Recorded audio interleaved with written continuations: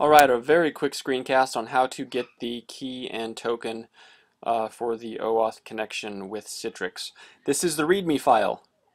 Uh, if you get the free version, the premium version, or the Woo version, there's a README file in there which uh, has these details. This right here is the URL that you need to visit, which takes you to this place here. For GoToWebinar, you will click this button, GTW OAuth Flow.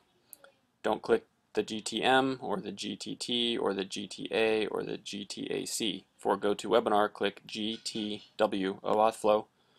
It will open up this window, uh, which you will use to log into. So whatever your GoToWebinar uh, username and password is, insert that here, click login, and it will then generate the key and the token for you.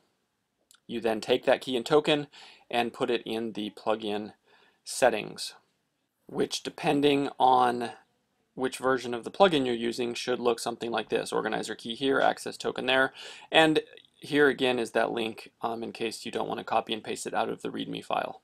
That is how you get your key and token for the free, premium, and Woo versions of the GoToWP plugin.